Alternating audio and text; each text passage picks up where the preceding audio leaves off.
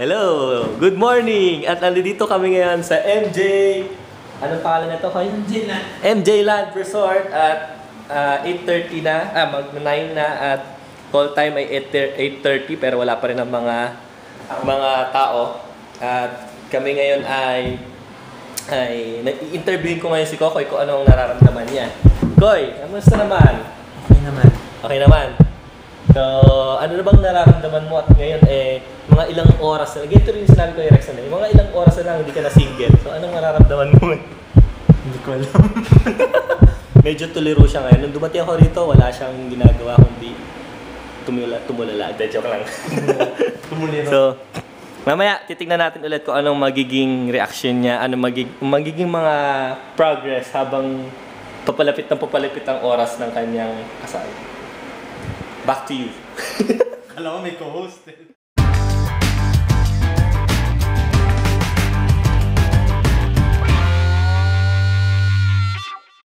Meron po tayong update. Ah, mukhang hindi na po matutuloy ang kasal dahil si Kokoy po ay na-stuck sa loob ng CR. Ayaw po bu- Ayun! Bumukas na! Yay!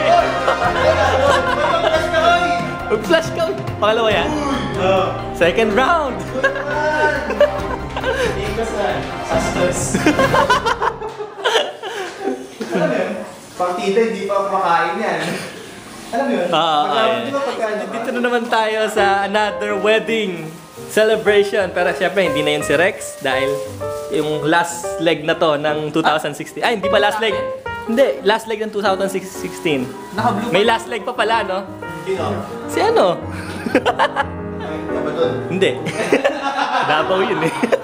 Ayan, ito, ine-makeup pa na ngayon yung, yung groom. So, kailangan ba ng mara- maraming makeup ang kailangan Hair dyan? lang. Hair lang. Hair lang? Oo, kalbuhin mo na yan. Ba- baliktad na kayo ngayon. Baliktad na kayo ngayon. Ah, anong baliktad na? Ay, oh, ikaw na yung nag- behind the back ko. Ah, so, ito yung behind the scene ng Behave back. behind ng wedding ni Kokoy. Ayan, nagpe-prepare na yung mga groomsmen at photog na pictorial na rin sila habang pagkatapos ng makeup ni Kokoy, pictorial na rin sila ni ano, ni Sunny na binibidyohan din ako.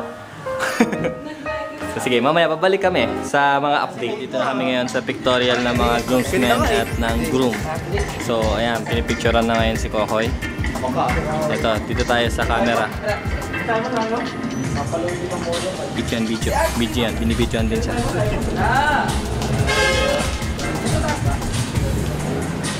Ito, para merong effect. Ano? Wait lang.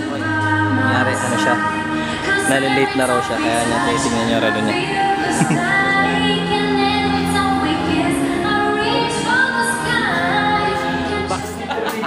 Ayan, dito po tayo ngayon sa, ito na po yung mga magulang ni Kokoy. Ay, hindi po yan. Kapatid po yan, ate po yan. Ano po yung magulang? Si Tita Mabel. Tita Mabel, ano pong masasabi niyo? Ano pong nararamdaman niyo ngayon? Masaya. Masaya? Ikaw? Ay, hindi pala yan si Tito Big. Ito pala. Tito Big, ano pong nararamdaman niyo habang inaayusin po yung likod ni Tita Mabel? Nagugutom na. Nag- Nasaan kayo? ah, ito, ito. Medyo English natin ah. How are you? How are you? Mabuti. Ah, what can you say about Kokoy? Uh, he's very handsome. How about me? Uh, equally so. That's good, that, that's good. right? Yes? Yes? Yeah, yeah.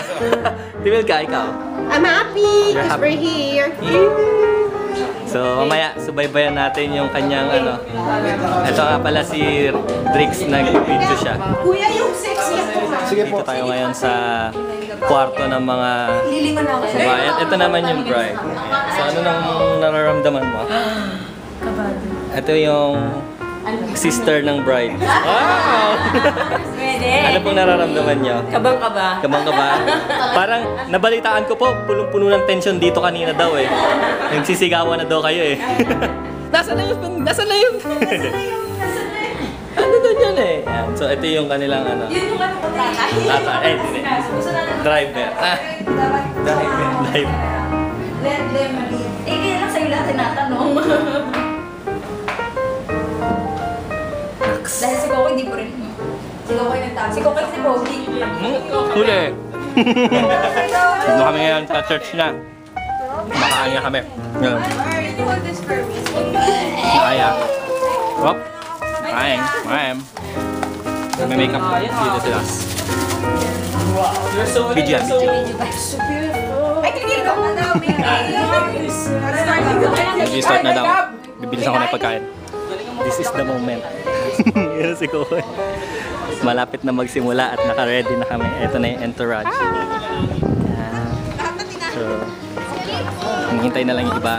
bridesmaid, James. Ryan C, Justin Si Meron. Sa likod po, kayo ng coin bearer. Yeah. Paulo Bautista, Tracy De La Cruz. Tracy, sundan, Tracy sundan mo si ano, si James. Christian Merong men and black doon. and Catherine Spejo, likod kayo nila. Si Kuya Sunny, parang sniper. May and ano, likod kayo nila si Dre. Okay. Patron Pan, ito si Kokoy. Nakabahan na. And pasok ng entourage yan.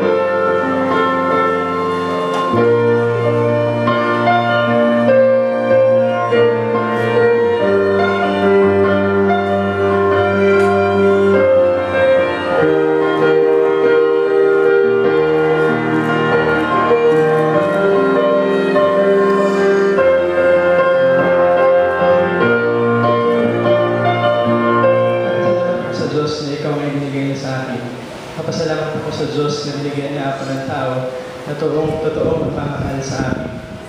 At ipinapangako ko, napapahalagahan ko ang regalo ng Diyos na ito. Maricar, ipilitin ko na sa abot ng aking makakaya na hindi maging mainit ng ulo, na maging sweet sa'yo, and to love you just as Christ loved the church and gave himself up for her. I love you, Maricar.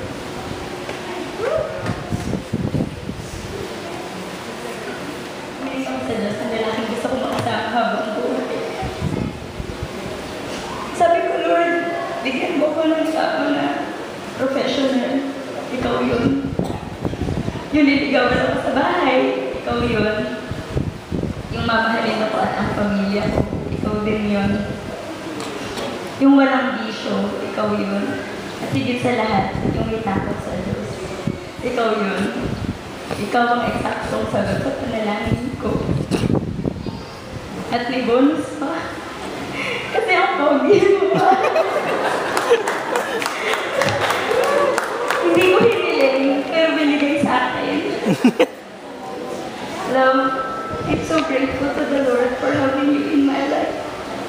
Three years was not that easy for us. We have a lot of misunderstandings, heartache, na heartache. yung tapos na, nagpipictorial na at naka-ready na.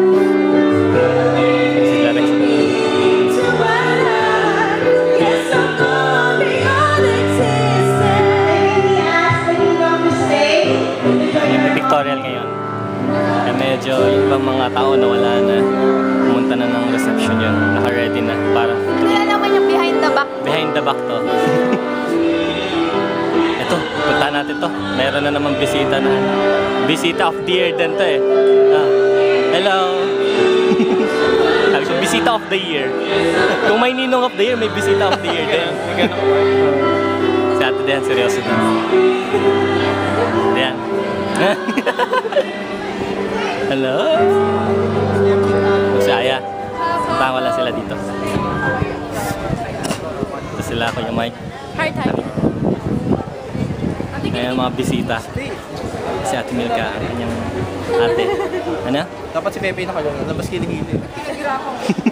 The shoes. Ngayon, magpipictorial kami bago pumunta sa reception area. Wala kayong So, partner. Tatlo sila dito. Ni-instruct pa nila mga photographers.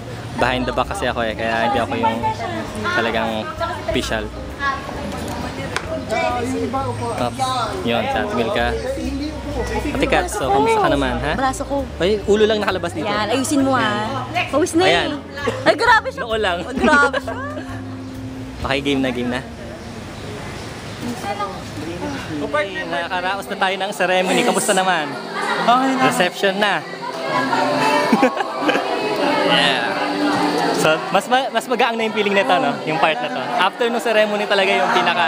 Kabigatan. Oo.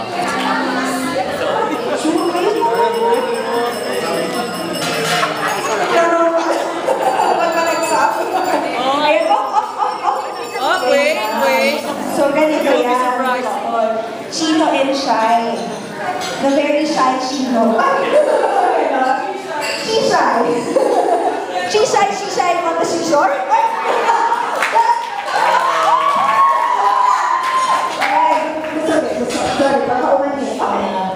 Meron siyang midweek service. Kung hindi midweek service, nagdadalaw siya. Kaya ko, uh, minsan hindi na uuwi. Kasi meron silang buho sa site. Totoo ba yun, Kuya Eddie? Ah, ganun pa man, sa umaga, hinahabol ko yan. Kasi doon lang kami nagkakaroon ng, ah, ng chat, ng morning chat namin. Doon lang kami nagkakausap. Kaya mamimiss ko yun, Kokoy. Ang ating pag-uusap sa umaga, na kung minsan ay kaya nilang kitang nakakahabol dahil maghahanda ako ng isang mainit na kape, magsasangag ako ng sinangag na masarap na mabangong sinangag, ah, huli ko siya, Malikal. Sa yan, kakain siya, regardless kung anong ulam. Kaya nakakapag-usap kami. Kung minsan, meron kami konti. Aral na nakinig sa iyo. Isa ako sa pinaka-saya sa akin. Carl, kasama kami ko. Supportahan mo siya sa pagiging pastor niya. Ang mission niya, yung natin. Kung anong pagkukulang niya, Oy,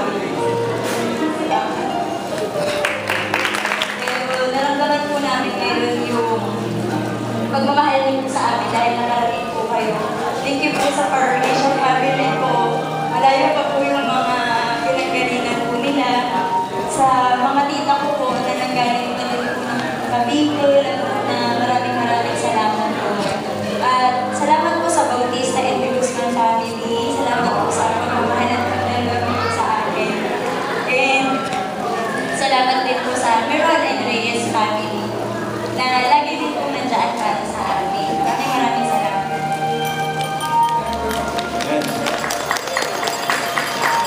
Una po ay nagpapasalamatan po ang Diyos sa successful na sa po namin. Pinapasalamatan ko rin po yung magulang po namin, si Daddy, si Mami, Mama. Thank you po. Maraming salamat din po sa family po namin na sumuporta po sa amin. Sila Ate Shella, Ate Wilka, sila Ate Kat, Pat, uh, Gab, saka po si Maris. Thank you po sa inyo. Ganun din po ay nais po namin pasalamatan si Tita Zelda na tumulong po sa amin. Ano po si Tita Zelda yun. Maraming salamat po sa paggawa ng boutonniere na pako. Pinako po talaga. Ano? Tsaka po sa invitation, maraming salamat po Tita Zelda. Maraming salamat din po sa table number and table verse. Maraming salamat po sa initulong niyo ni Tita Eddie sa amin.